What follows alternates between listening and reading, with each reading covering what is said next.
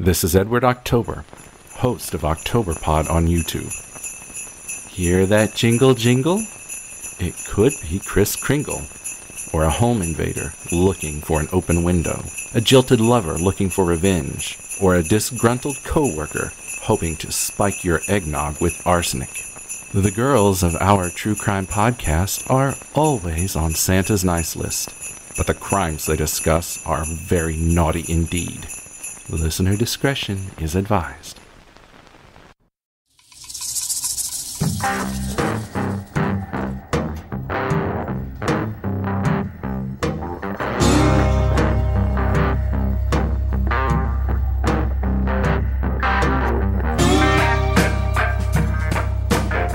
Hey, Jen. Hey, Kim, how are you? I'm good. How are you? I'm doing great. It's the second day of Christmas. day two. Day two. Day day two. second day of Nightmare Before Christmas, I should There you add. go. Yeah. There you go. I know. I can't believe it's happening already. It's just unreal. It's- it's Ten days out, give or take, for the big uh, holiday. For the big day when Santa Claus comes down our chimney. Sanity Claus comes Yep. down the chimney. I All tell right. you what. Well, I'm excited. Let's go. All right, ready? hmm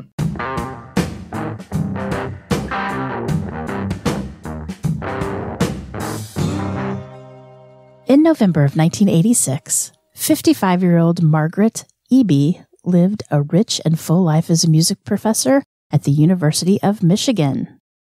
Margarette was well liked by her students and coworkers and had several grown children of her own. She came from a family who valued education and were gifted in science. One brother worked for NASA, another was a psychiatrist, and one was a plastic surgeon. Smart. I don't know. But Margarette, she favored the arts. And wanting to share the passion with others, she became a teacher. She got her master's in music in 1962 and her doctorate in 1971. In 1984, she took a position at the University of Michigan Flint and went on to organize the Basically Bach Classical Music Festival in the Flint, Michigan area. Located about 70 miles west of Lake Huron in mid Michigan, Flint, known as Vehicle City, was centered around the auto industry. And in the middle of Flint is a beautiful estate known as Applewood, which was once owned by the Mott family and is now opened to the public. Now, little side note here when I first said, oh, Applewood, the Mott family, I'm thinking of apple juice, right? And That's what I was thinking Yeah. of. Like Mott's Nope. applesauce? Nope, it wasn't. It Oh. is the Mott family. This Mott family, I should say, is Charles Mott, whose company was the largest axle manufacturer in the world. Remember, because it's Michigan cars. yep. Yeah, Mhm. right. So there, I was a little confused at first. I was but- thinking applesauce too. Yep. S that's because we're always hungry, Camille. Yes. Anyway, there, Margarette Eby rented the former gardener's cottage and enjoyed quiet days filled with beautifully green landscaped views in the summer and untouched blankets of snow in the winter. Around 4:30 in the afternoon on November 9th, 1986, some of Margarette's students arrived at the cottage to take her to a concert. It was a mostly cloudy afternoon with temperatures just hovering at freezing, and the sun was setting fast. Margarette should have met them at the door. Mm, The house should have been aglow with warm light. But when the students knocked on the door, they were met with silence. Had they gotten the wrong day? Margarette didn't mention any change of plans, so she should have been there and she should have answered the door. The students knocked again. Finally, one of them tried the doorknob and it was unlocked. They entered the cottage and found a grisly scene. Margarette Eby had been brutally raped, stabbed, and nearly decapitated. Ugh. Margarette Eby was Flint, Michigan's 56th homicide that year. Spread thin and worked to the bones, police were determined nonetheless to find Margarette's killer. However, the leads dried up quickly. Margarette had no enemies, no jealous ex boyfriends, and no known stalkers. That led police to believe that the murder was done by a stranger, and most murder victims are killed by people they know. According to the FBI website and Psychology Today, stranger killings account for less than 10% of all murders in the US. And not only is it uncommon to be murdered by a stranger, but it's also the most difficult crime to solve. And while DNA was left at the scene of Margarette's murder, DNA science was in its infancy at the time, and there was no national database where DNA results were entered and matched across the country. A bloody thumbprint was left on the handle of the faucet in Margarette's bathroom. It also didn't match any of the fingerprints on file in the state.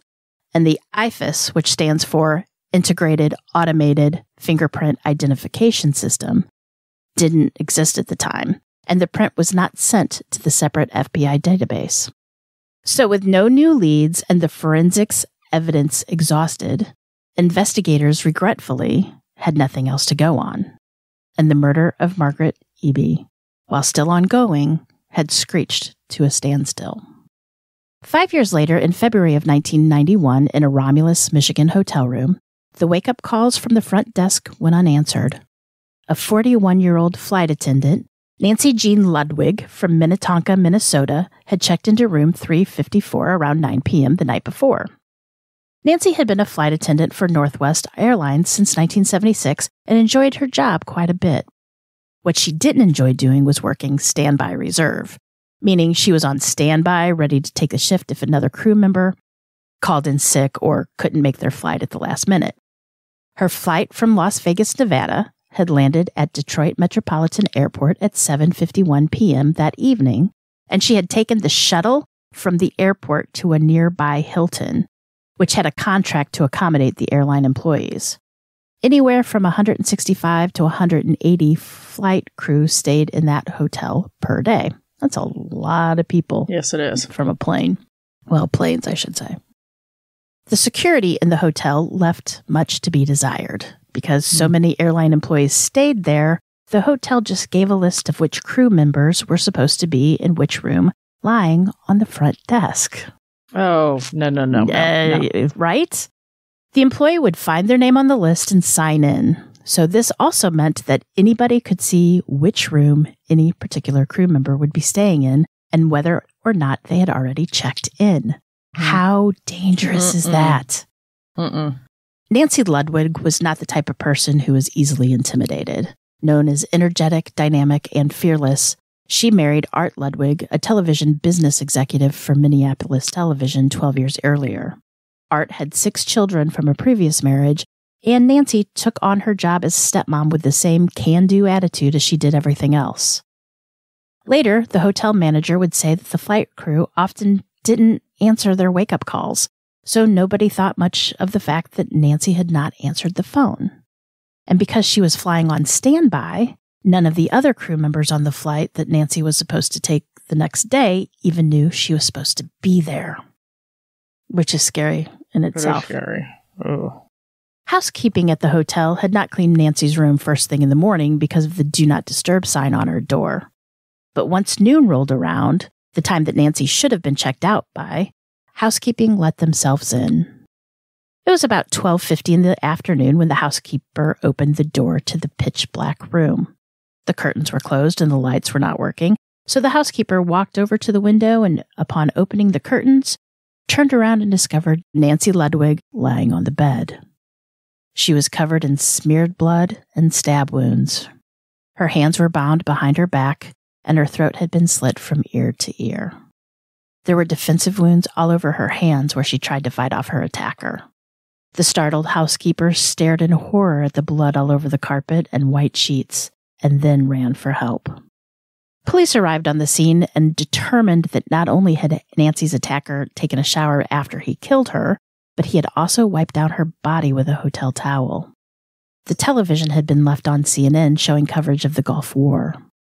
The killer had also taken all the personal items that had belonged to Nancy, including her airline ID. And even though he had cleaned up, investigators were able to recover DNA from the crime scene. I mean, this man even took her uniform. Like souvenirs? Weird. I I'm assuming so. Investigators interviewed hotel employees and fellow flight crew.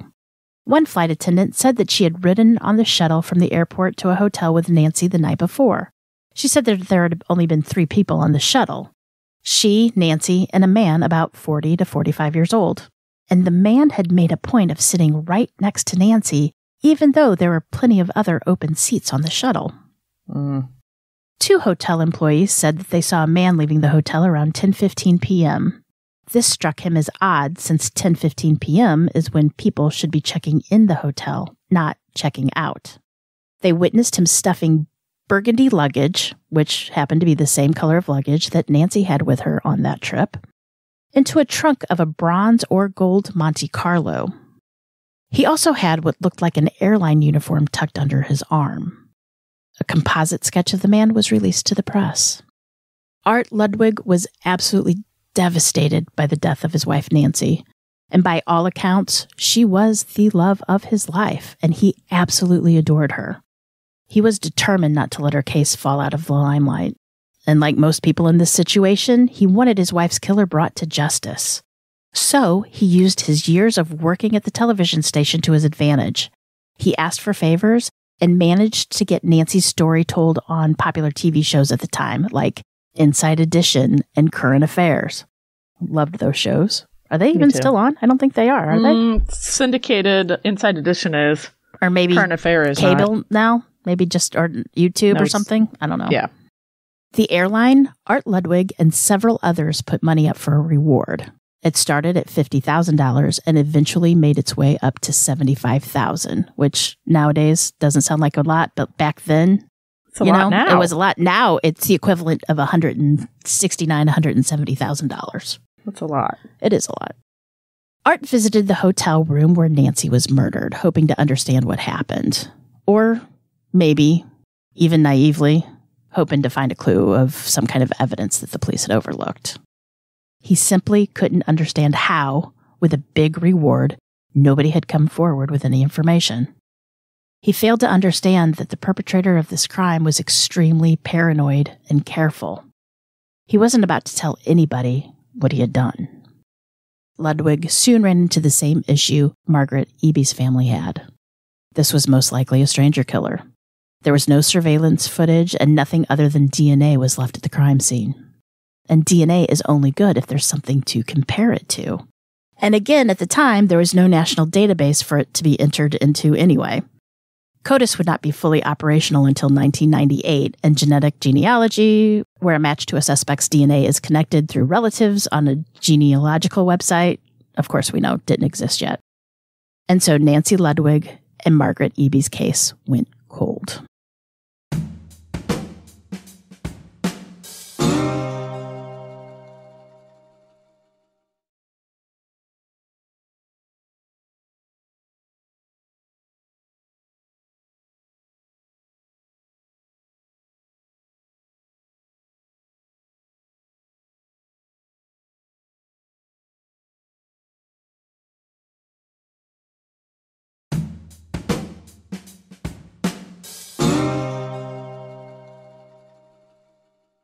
Within weeks of Nancy's death, Art Ludwig received a startling and unusual letter in the mail. It was from Mark Eby, the son of Margarette Eby. In the letter, Mark detailed his mother's murders to Art and concluded that he thought maybe, just maybe, his mother and Art's wife's cases were linked. Maybe they were committed by the same individual, I'm going to say yeah. especially since we're discussing it on the same Mm-hmm. episode, right? Yep. because we're smart like that. Anyway, Art agreed that it was a possibility. The bodies of the two women were found in the same position, and the crime scenes overall were very similar. So Art gave the letter to the Romulus police, who contacted the Flint, Michigan investigators to see what they thought. However, the police in Flint said that their suspect had type O blood, and the person who killed Nancy had type A.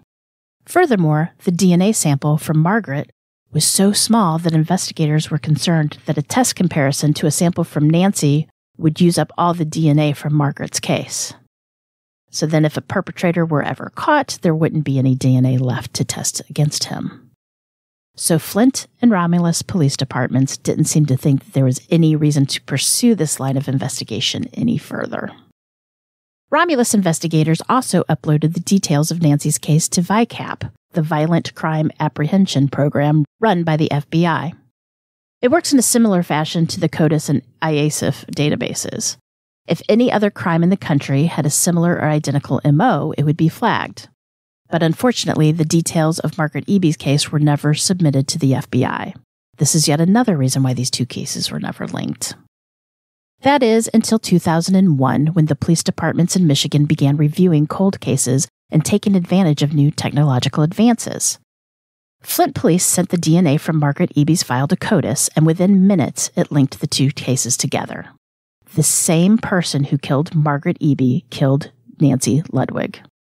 At this time, both cases also matched the VICAP. In September of 2001, the investigators finally sent the bloody fingerprint off to the FBI to see if there was a match in the national wide database of AFIS. They had to wait months to get the results back because the FBI was overloaded. Why? Because the terrorist attack of 9 hmm. 11 had just happened, and they had to focus most of their energy on that. And then, almost five months later, in February of 2002, the FBI matched the fingerprint from the Eby crime scene to that of Jeffrey Wayne Gorton, who now lived in Genesee County with his wife and two kids. Gorton definitely had a criminal record, and while it was disturbing, it did not indicate the level of violence he was capable of.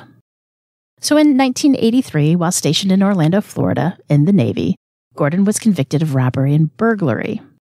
In April that year, on two consecutive days, Gorton attacked two women, knocked them down, and wrestled their slips off them. Slips like the lingerie that you wear under dresses.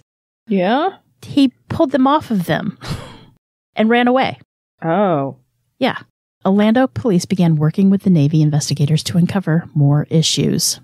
There's a lot of issues here, let me tell yeah, you. they're. Mm-hmm. At the time, Gorton lived in the trailer park with his first wife, Dawn, and their baby. The owner of the trailer park told authorities that he had entered Gorton's trailer and found dozens of pairs of women's underwear, including those of his own wife and daughter. Ooh, ooh, ooh. Gorton Hmm. pleaded guilty to those crimes. The judge sentenced him to four years in prison, but Gorton only served two of those four years, and then after that, he moved back to Michigan after he was released. That conviction meant that his fingerprints would be put on file.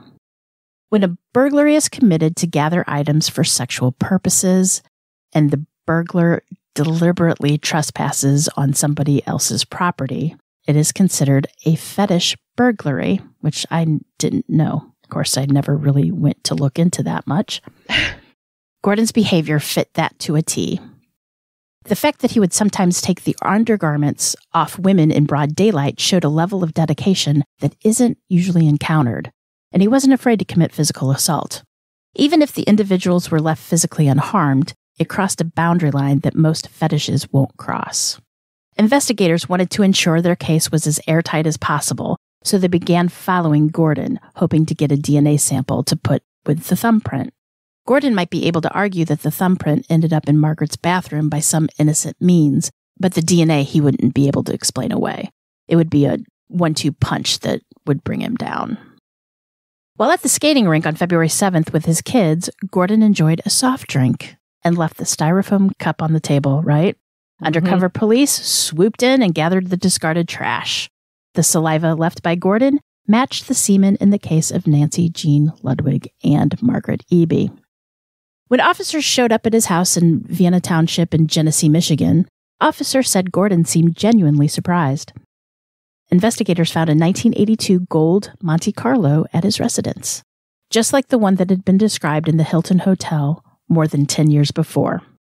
Police also found over 800 pieces of women's lingerie in Gorton's residence, all meticulously labeled with tags that said who had owned the lingerie and where and when Gorton had stolen it. The officers were overwhelmed by all the evidence. And I mean, they had boxes on top of boxes of evidence. And it didn't take long for the authorities to come across a box of VHS tapes. Mm. Remember all those? I do. hmm On those tapes were recordings of Jeffrey Gorton modeling the lingerie that had been stolen, that he had stolen. Oh. He was obsessed with watching himself remove the lingerie in various environments, mostly in his own bed. He also had a video camera set up in the bathroom at his home to watch his guest using the toilet. Oh. God. When questioned by authorities, Gorton revealed that he was undergoing therapy for his compulsion to steal women's undergarments forcibly. Not just yeah, steal, you know what I'm saying? Like Yes, knocking do. down and taking him. Mm-hmm. But he held steadfast that he had not killed anybody. Even after they confronted him with the DNA evidence, he still denied it and refused to confess. Gorton was charged with the rape and murder of Margarette Eby and Nancy Ludwig. Now, a little bit about Gorton. He worked at the Buckler automatic sprinkler system, which his parents owned at the time of Margarette Eby's murder. The company provided service to the Applewood estate in Flint, and Gorton was known to work there. He was dubbed Uncle Perv and Panty Sniffer, which that is the first time I've ever typed those words down, by the way. Um, probably middle school. yeah. Well, his, I don't think I ever wrote that down. but anyway, that's what his coworkers, yeah. That's what they thought about him. Yeah. And he, oh, wow. They did that because he was, well, his misogynistic and perverse views towards women, pretty much, right? In fact, one of the prosecuting attorneys noticed that during jury selection that Jeffrey Gorton could not stop staring at one of the women who was a candidate for the jury. That is so creepy. Yeah. So once he mentioned that, Gorton began to squirm in his seat. Gorton underwent psychiatric evaluation at the Center for Forensic Psychology in Ann Arbor, and he was found fit to stand trial. And in August of 2002, a jury deliberated for less than two hours and found Jeffrey Wayne Gorton guilty of murder, felony murder, larceny, and criminal sexual conduct. Gorton, who was just 39 years old then, was sentenced to life in prison without the possibility of parole. Now, Dawn, Gorton's ex wife, who had been married to him from 82 to 1988, was at the sentencing. And she said that for the most part, Gorton managed to blend into a normal life. However, she said privately, the clues that something was horribly wrong had been there all along. She went on to reveal that when she was married to him, she found lingerie belonging to hundreds of other women in their home. As for Margarette Eby's case, Gorton surprised everyone and pled no contest, thereby receiving another life sentence. He claimed he did that during his trial to save everyone involved from the trauma of having to endure another trial. However, the following year, in 2003, Gorton made an appeal on the first case, claiming that he had ineffective counsel. He claimed that he only pled no contest because he was so disappointed in how he was represented in the Ludwig case. Gorton was given six life sentences for murder and sexual assaults and will never be set free. Six months after Gorton was charged with Margarette Eby's murder, her daughter filed a wrongful death suit against him, the sprinkler company, and the Mott estate. She claimed that the sprinkler company knew that their son had a history of sexual misconduct and allowed him to work in situations where he would have access to potential victims anyway. She also claimed that the Mott estate had ignored requests from her mother for better security at the cottage she rented. The state Supreme Court said that Eby's family could not sue anybody because, in the state of Michigan, a claim had to be filed within three years of the murder occurring. Now, the state Supreme Court didn't care that she couldn't have filed the suit within three years since the murder had not been solved for almost 16 years. So the lawsuit was dismissed. Can you believe that? No, I cannot. Unbelievable. but yes, thank. God he's in jail forever or prison forever. He's never to get back. But, you know, we can only guess that there's probably more victims, right? Oh, totally. Then people just don't want to come forward. Wrestling a woman on the street to get her slip. How many people might that have happened to? And you're like, well, that's, you, you don't want to report that because of just how odd it sounds, you know? Right. And Mhm. having to deal with the fallout from that. Well, his first murder was in 1986, right? And that was just two weeks before he met his first wife, Dawn. And then he didn't murder again until five years later. And that was just five months after he and Dawn got married.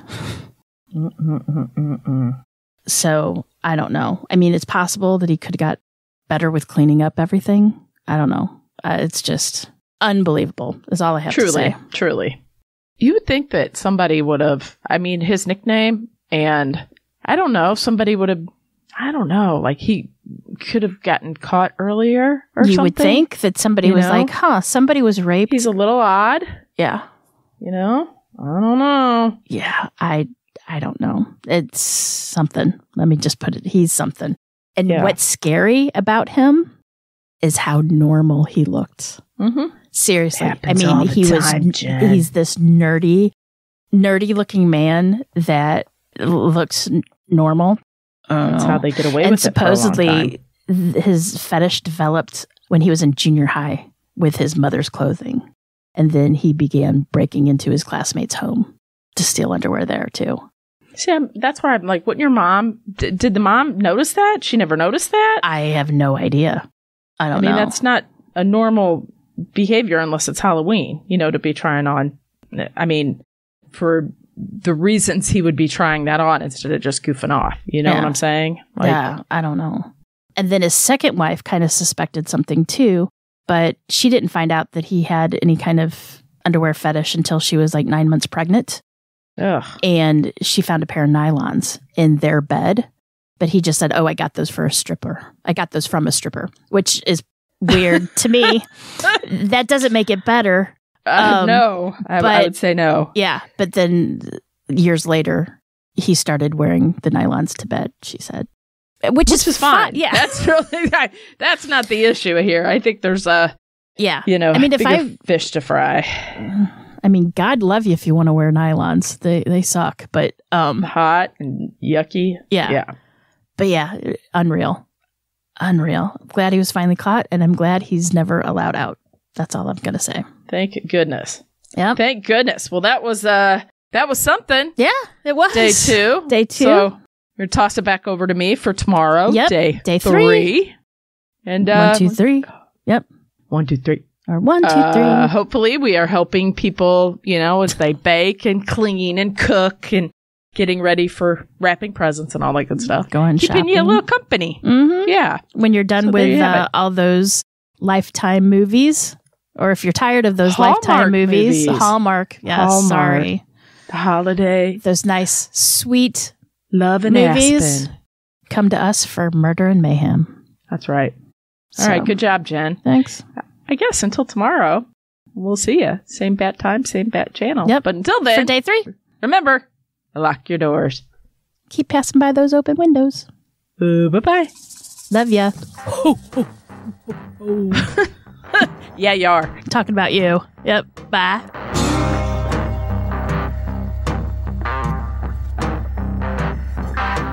For more information about this episode, as well as all other sources, please check out our show notes or the podcast website at ourtruecrimepodcast.com. Our True Crime Podcast is developed and created by the hosts, Jen and Cam. Original music and audio mix of all our True Crime Podcast episodes is courtesy of Nico Vertese from We Talk of Dreams. You can reach Nico at wetalkofdreams.com. Listener discretion is provided by Edward October from Octoberpod VHS. You can find all of his great works on YouTube. Please make sure to like and subscribe to our True Crime Podcast wherever you listen to your podcasts. We can be reached on Instagram and Facebook at True Crime Podcast or on Twitter with the handle at Our True Crime Pod. You can also email us at ourtruecrimepodcast at gmail.com. We would also at this time like to thank our patrons. We would be so lost without you. Thank you so much. And if you would like to help support the show, you can check us out on patreon.com slash our true crime podcast. You can also show your support by leaving a five-star review on Apple or simply just tell your friends about us. It's that easy. Love ya.